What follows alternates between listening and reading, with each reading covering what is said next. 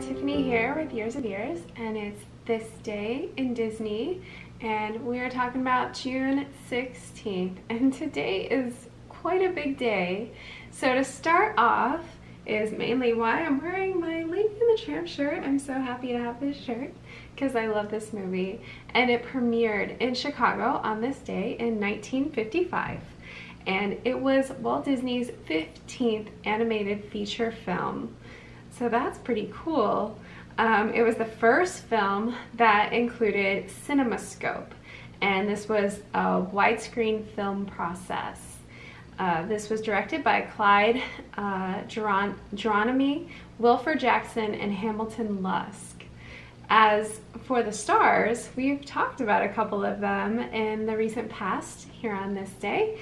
Uh, Barbara, Barbara Luddy was uh, Lady, she voiced Lady, and Larry Roberts as the tramp.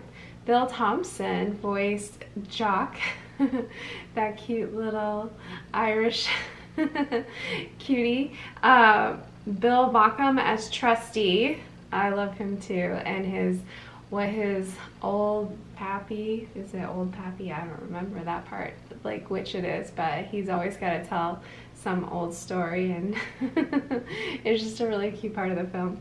Verna felton as aunt sarah george Givot as tony of course tony and that iconic bella notte scene and Peggy Lee, as we talked about her before as well, as Darling. And we talked all about the music for the film and everything with Peggy Lee in another video um, that you could go check out. Uh, she had a big part to do with this animated feature. Uh, the film's opening sequence is one of my favorites. I love the opening song.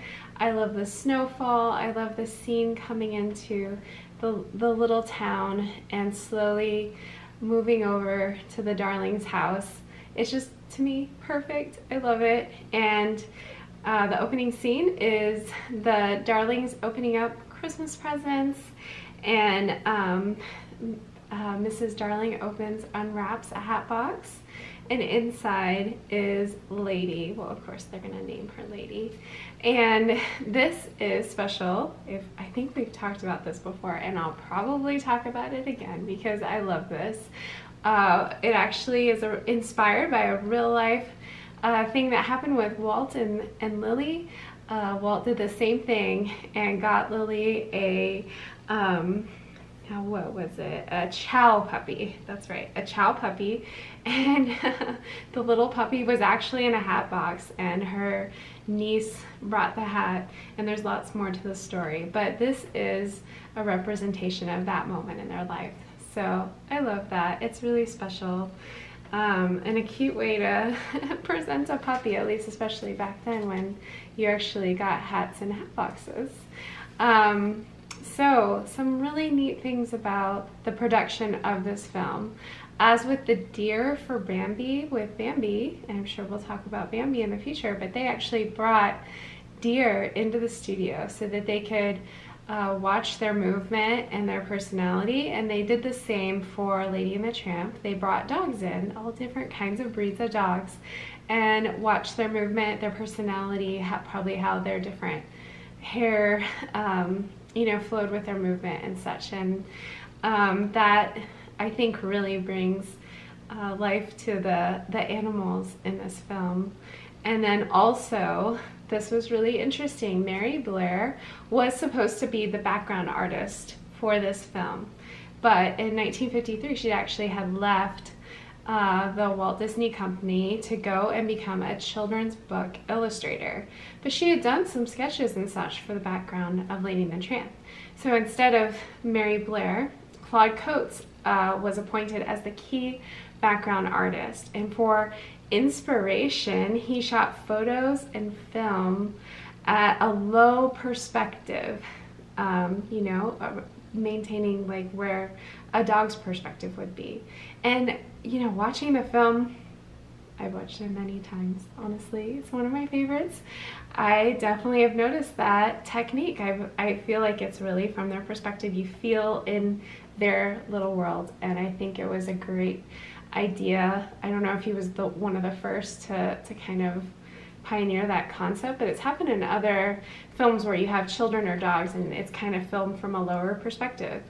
Um, and cartoons and such. Eyvind Earle, I did not know this. I thought this was so cool. So Eyvind Earle ends up doing, um, he's the director for Sleeping Beauty. And Sleeping Beauty has that amazing, beautiful, um, I think it's so well artistically done and it's it's very different from any other Disney film. And that's because of Eyvind Earle. And we will talk about him, but he is an artist and um, he was from a child. Well, I didn't realize this or know till today when I was learning all about Lady and the Tramp that he actually did 50 miniature scenes for the Bella Notte scene. And it's so iconic. Every time you think of Lady and the Tramp, you think of that scene. And he had a lot to do with that scene. And I think that's really neat and part of why this film is so special. So, when it came out, what did people think? I guess it actually had mixed reviews. Some people did not think it was that great. Some of the reviewers didn't support it and some did. Um, but it's a beloved classic. And as I've described with, with the different people involved and their talent and thoughtfulness, you can tell why we love it so much because they were very creative and very smart. I, to me, it's a beautiful film and I love to watch it many, many times. Probably too many times, but that's okay. so I hope you enjoy checking out, maybe go watch Lady and the Tramp today. I know I probably will. and then up next on this day, another really big thing happened back in 2016. I think this is amazing. Shanghai Disney um, Disneyland opened, um, which is pretty cool. It was the first uh, Disney park or Disney resort on uh, China's mainland after Hong Kong Disneyland. And the theme park is loaded, located in Pudong, Shanghai, China. And it is operated by Shanghai Disney Resort and um, Shin, the Shendi Group. So it's um, a combined effort there with the, the Shanghai Disneyland. Um, the first Disney resort, like I said, on mainland China, and it has six themed lands. So it opens up with Mickey Avenue, which is their Main Street entrance. Uh, their Main Street USA over there. And then next up is Gardens of Imagination with Dumbo's Flying um, Elephants and the Fantasia Carousel. Uh, it also has Marvel superheroes at Marvel Universe Meet and Greet, so that's pretty fun.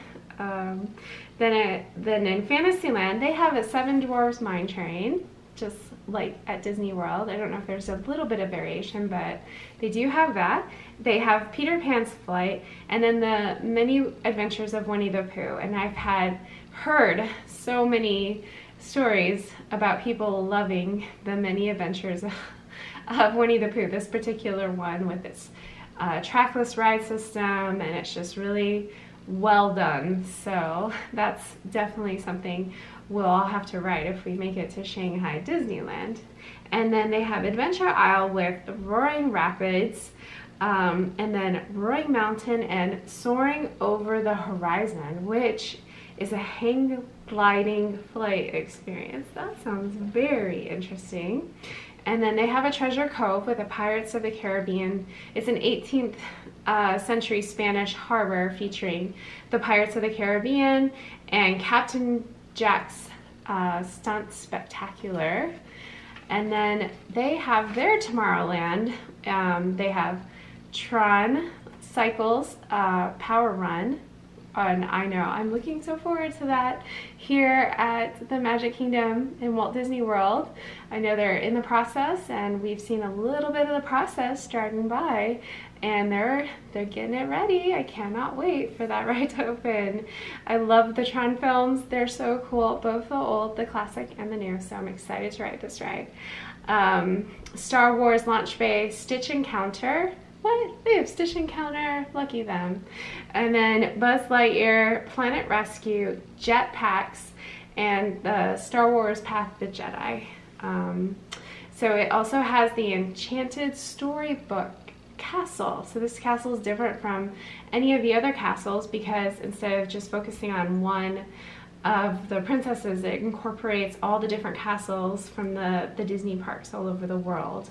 It has a walkthrough experience, a character dining, and a boat themed attraction. This castle must be big because it has a lot going on inside of it. It sounds really neat. Um, so this is the first of the Disney parks to open. Um, and so they all are getting to go have fun at Shanghai Disneyland, but not for long because July 11th we'll be heading over hopefully to Walt Disney World and getting to enjoy our parks here again. So that was a big day, a lot of information. So go check out about more about Shanghai. Check out some of the POVs for their rides, especially Tron, because I think it's really based, they're gonna be very similar to the one here, I'm pretty sure. Uh, excited for that. And Winnie the Pooh, um, it's interesting, some of their rides. Check them out and go watch Lady and the Tramp today. And I hope you have a great day.